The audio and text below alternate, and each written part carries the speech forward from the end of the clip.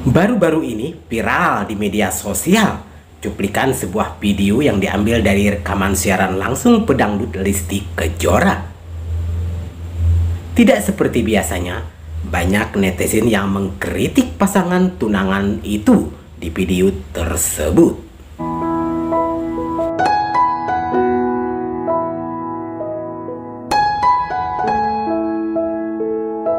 Video yang diunggah ulang ke TikTok ini pun mendapat teguran dari netizen.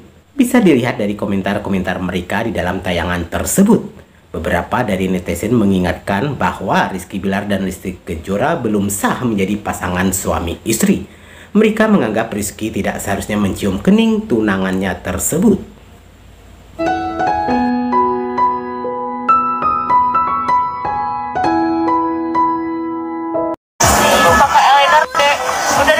Eyeliner di dia kita teman